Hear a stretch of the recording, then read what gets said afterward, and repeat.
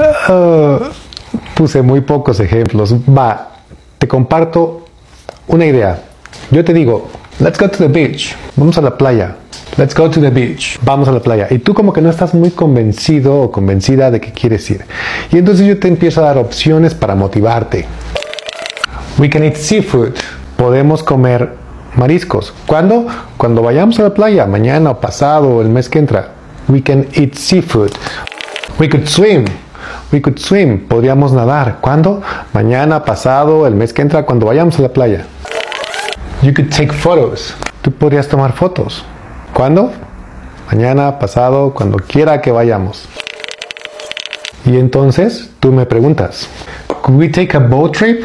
Could we take a boat trip? Could we take a boat trip? ¿Podríamos tomar un viaje en bote? Y claro que sí podemos.